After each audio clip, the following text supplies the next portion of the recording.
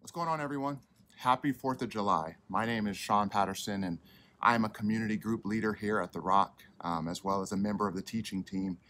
And I am excited to be with you today, streaming from home. Now, I sincerely hope you're having a great Independence Day so far. I know for us, uh, having a big family, you know, not having to rush to get everyone ready, but just being able to relax into a Sunday is a blessing all on its own. And so as you ease into uh, this busy day, maybe you're, you know, out preparing to put some meat on the grill or uh, you're laying with the kids' swimsuits out or you're on the couch in your pajamas with coffee in hand on a day where we celebrate the birth of our great nation. I thought it'd be fitting um, to talk about the birth of the church. Amen.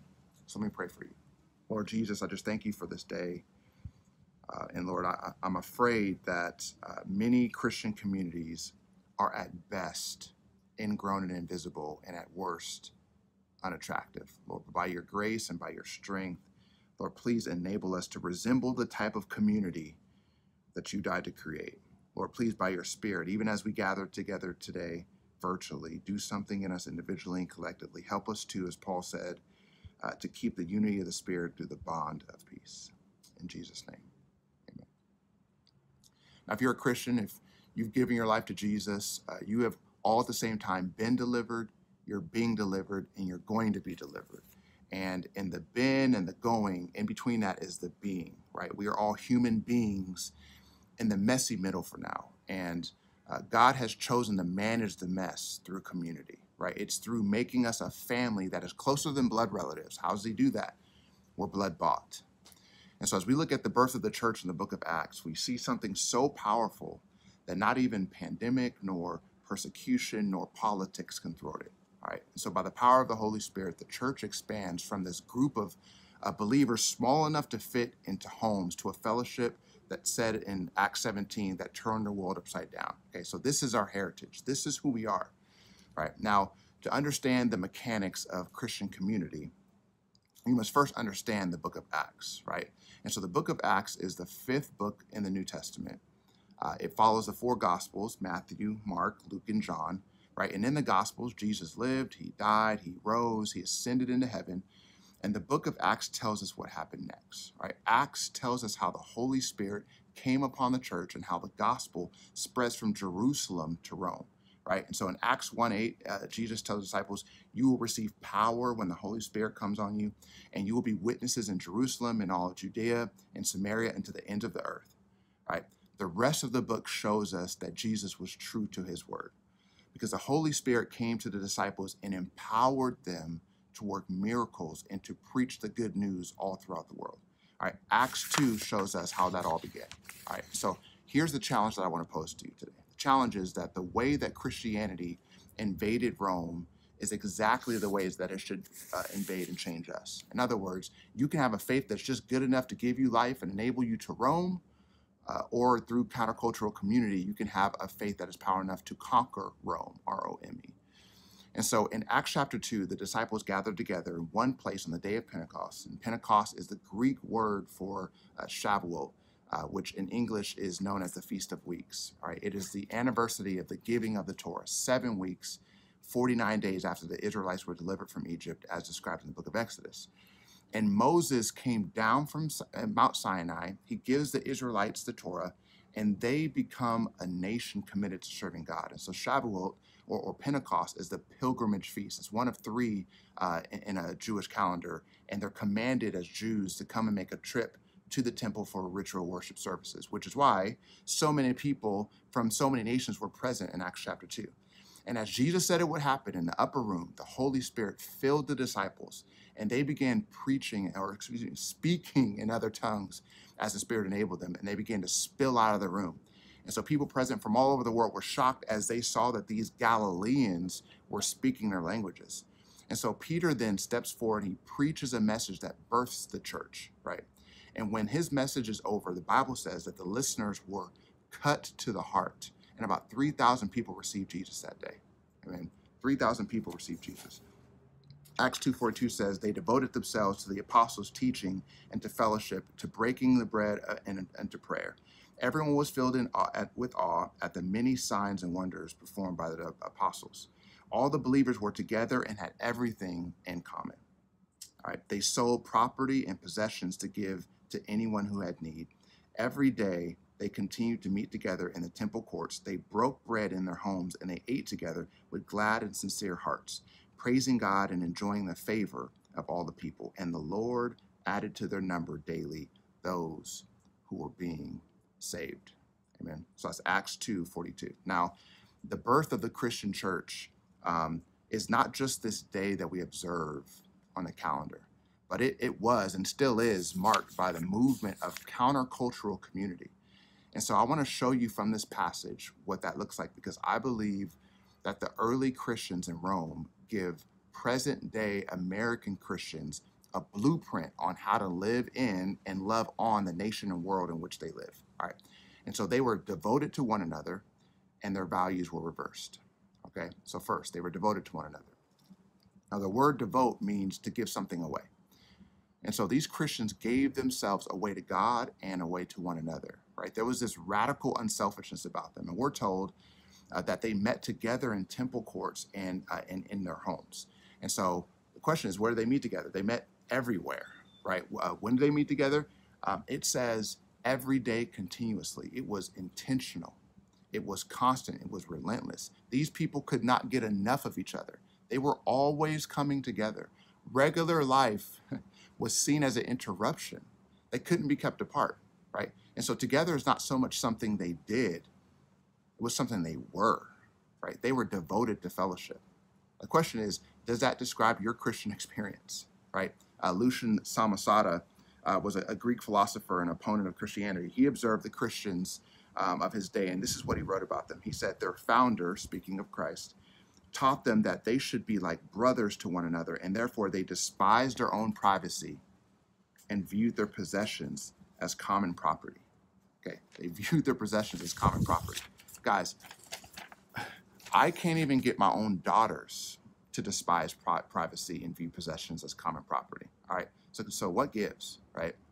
You know, many of us uh, say no to Christian community because we cannot fathom having to live among church people every day, right? I, I would submit to you that this has more to do with culture than you think, right? Culture is this it's a sneaky thing. Uh, sociologists would tell you that the culture you live in creates these norms that, whether right or wrong, they are so pervasive we believe them to be true, right? And so we live in an individualistic Western culture, right? To thine own self be true is the mantra. And so we champion the needs of the individual over the needs of the group as a whole. And so observing a culture where people despise their own privacy and view their possessions as common property literally gives us anxiety attacks, right? And so our culture has has taught us to be this way, right? How else do you think that we went from, you know, being New Testament believers uh, who gather together every day continuously to a once a week gathering as a big group into a commercial building where we sing a few songs, we listen to the word, and then we leave and we wait a week to do it all over again, right? You don't think that was your idea, do you? And so if Christianity got off the ground by radical unselfishness and relentless devotion to one another, the question is, why is it so hard to do in our culture? And there's probably many reasons for that. I'll speak for my own experience, you know, and for my own life. Amy and I, you know, we have seen Christian, Christian community fail miserably in our lives when we just try to fit it in. And what we learn is that a lifestyle that seeks to add Jesus to our current MO is not one that proclaims his supremacy, it proclaims his conveniency. Right? Community is foundation, it's not a fixture. It can't just be one more activity among many. And I believe it was C.S. Lewis who said it this way that if you aim at heaven, you'll get earth thrown in, but if you aim at earth, you get neither, right? And so these, these early Christians were devoted to one another, and it was this spirit enabled bond and generosity that caused Christianity to explode throughout the Roman Empire. So I just wonder what it would do in America today. You know. So second, their values were reversed.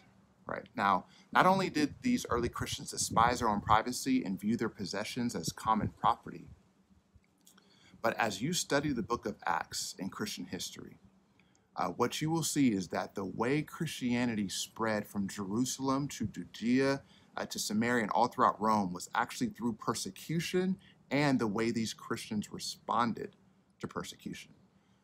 And so Jesus gives us the prescription in the Sermon on the Mount because in Luke chapter 6, Jesus goes up on this mountain, he spends the night praying, uh, he chooses 12 apostles, and he comes down off the mountain and he gives them the word of God. Now, why does that matter? You ask, right? When was the last time that happened? It happened in the book of Exodus on Mount Sinai. God called together the 12 tribes of Israel, sent Moses down off the mountain with his word. Uh, and it wasn't enough for, uh, for God to just deliver them from Egypt. He wanted to make them a people, a new human community. Right? Again, this is the event that Pentecost commemorates. Right? And so, in the same way that Moses came down from Mount Sinai to give the Israelites the commandments, Jesus in the, in the book of Luke descends from a mountain to issue the, the commandments. Listen to what he says. He says this He says, Blessed are you who are poor, for yours is the kingdom of God. Blessed are you who hunger now, for you will be satisfied. Blessed are you who weep now, for you will laugh. Blessed are you when people hate you, when they exclude you and insult you and reject your name as evil because of the Son of Man. Rejoice in that day and leap for joy, because great is your reward in heaven. For that is how you, their ancestors treated the prophets. But woe to you who are rich, for you have already received your comfort. Woe to you who are well fed now, for you will go hungry. Woe to you who laugh now, for you will mourn and weep. Woe to you when everyone speaks well of you, for that is how their ancestors treated the false prophets. Again, Luke uh, 6 20 to 26. And so, listen, Jesus makes it clear that there are two sets of values that oppose each other in this world. Right, one set he passes judgment on, the other he exalts. All right, and so looking at the woes first, right, there are four values that he mentions. He mentions being rich, full, laughing, uh, right? Now, what's that, right? Uh, power, comfort, right? That looks like people having fun, but the word laugh could be better translated gloat, okay? And so Jesus is talking about people having fun, right? Not uh, about not ha- having fun, but people having won, excuse me. All right, and so these are people who have competed and succeeded, right? Gloating is, if you have kids, you know this, you see this every day. Gloating is I won, you didn't. And so the third value is success, and the last is recognition. So the first set of values, power, comfort, success, and recognition. The second set of values in verses 20 to 22 of Luke chapter 6 are the exact opposite, right? They are parallel but opposite. They are poor, hungry, weeping, and exclusion, right? And so what Jesus is saying is that when you leave uh, the kingdom of this world and you enter into my kingdom, the things that the world values are not valuable to me, and the things that the world despises are valuable to me. Right? I don't value power, comfort, success, or recognition. I value weakness, sacrifice, grief, and rejection. Right? So, who wants to join? Right? And so, as I, I, was trying to make sense of this, as far as what does this mean to us, how uh, Jesus values the things uh, that the world despises and despises the things that the world values. Um, a commentator on the book of Luke bailed me out. And this is what he says. Michael Wilcock writes this he says, In the life of God's people, it will be seen, first of all, a remarkable reversal of values, that the people of God will prize what the world calls pitiable and suspect what the world thinks desirable. And so, what he's saying is that Jesus is not calling us to seek the values he calls uh, blessed, but prize them. And he's not telling us to refuse the values he despises, but to suspect them. And so, we don't go seeking weakness and weeping, but we prize what we have. And we don't refuse power and success, but we suspect it. All right. And so when you enter into a relationship with Jesus, he creates in your inner being this radical freedom so that uh, power and comfort and success and recognition have no control over you. And once you get that radical freedom psychologically, it also changes all of your social relationships, right? You are free from the control of power and comfort and success and recognition. And, and once you get that radical inner freedom, it, it creates a new community with all other people who have that same freedom. See, uh, in, in the kingdoms of this world, laughing and blessedness goes together, but never weeping and blessedness. But in Jesus' kingdom, he gives us a blessedness that is unfazed by circumstances. And in many ways, it's actually increased by weeping, right? This is how the persecuted Christians revolutionized Rome there is a blessing in the believer that gets stronger when we weep. It gets stronger when we hunger. It gets stronger when we're weak, right? There, there's a sweetness to our relationship with God that actually that we actually never get to tap into until we lose the world's recognition. And so when Wilcox says that we prize the things that everyone else in the world absolutely avoids at all costs, it doesn't mean that we want them or we seek them, but when they come, we don't care. And when they come, we prize the fact that they actually make us wiser and stronger and more blessed. Right? Uh, John and Sarah Williams uh, recently shared their relationship testimony with our fam group uh, on Tuesday nights, and I was so impacted by a story they told. They talked about how they struggled for a few years, uh, for a, a, a little bit, um, as they were just leading their uh, family through changing vocations. And John talked about how he was stressed out and he was discouraged, and there was a lot of dryness, but it produced this sweetness of, of his relationship with God. And he says that he's, he experienced a faithfulness in a way that he could not have, the faithfulness of God.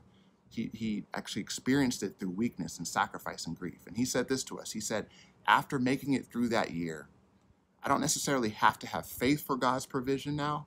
I know God has provision, right? And so in Jesus' kingdom, through the reversal of values, right, weeping and blessedness goes together.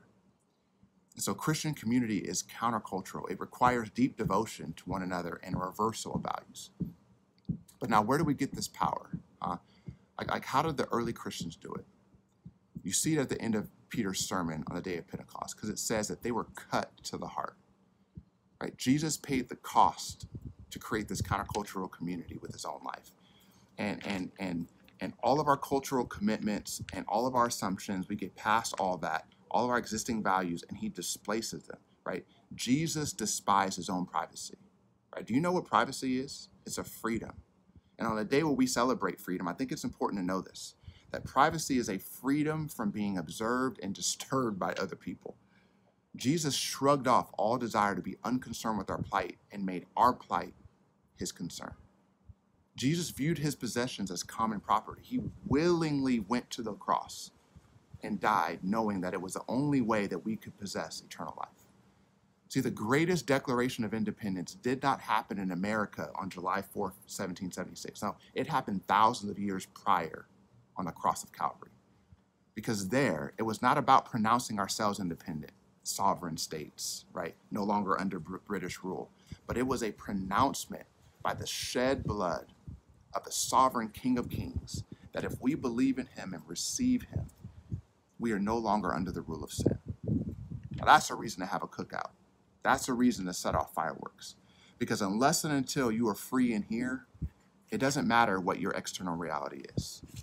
See, the cross is countercultural. It represents God's devotion to us and a reversal of values.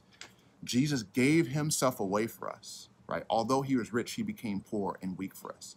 Jesus forfeited the comfort of heaven to sacrifice himself for us. He exchanged his glory for our grief. He gave up his reputation and recognition as King of heaven to experience rejection for us. Jesus was crushed, he was broken, he was destroyed in order to purchase our independence. Amen. Let's pray. Jesus, I thank you for the cross. Lord, I thank you for all you do for us.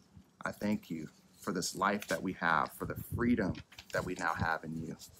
Lord, I thank you on a day like today, again, Independence Day. What, what a beautiful, great day in our nation.